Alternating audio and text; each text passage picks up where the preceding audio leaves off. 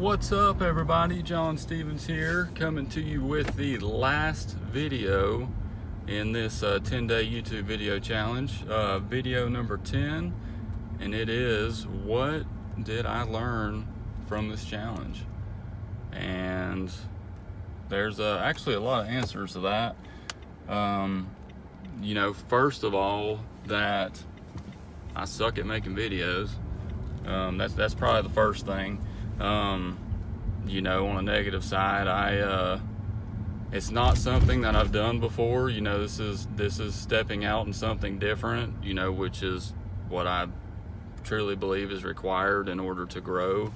In order to hit the next level, you got to do stuff you don't want to do, or at least try it.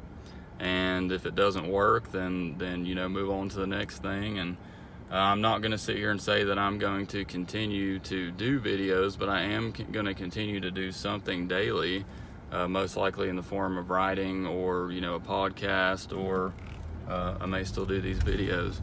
The other thing that I learned from doing these videos is that um, I need to work on scheduling my time a whole lot better because I think every single one of these videos have been made from my vehicle in between appointments.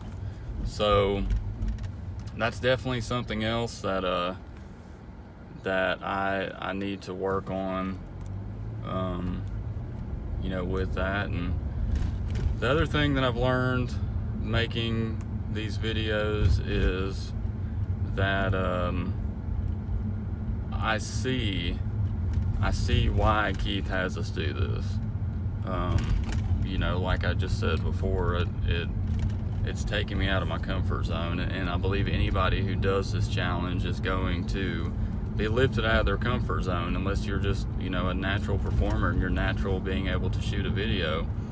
Um, you know, it, it's it's going to uh, it's going to change you, and it's changed me, and and I'm very appreciative that Keith started this, and I look forward to doing you know the next uh, you know the next installments of whatever challenges he has next because I eventually want to look back on this and it may take 300 videos to say I, I feel like I made a good video or that's a damn good video.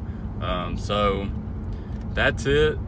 This one's gonna be short and sweet again so I appreciate appreciate everybody that's uh, tuned in to all of these including this one and you know, like I've said before, if you've made it especially to to the 10th video, uh, you need to reach out to me and, and really figure out, you know, what, what else there is that you need to know about me or about this business and, um, you know, to get started today and start stepping out and doing something different and, and, and creating a better life for yourself and your family and whatever your why is. So until the next one, I had a blast doing it, and I look forward to seeing y'all again soon.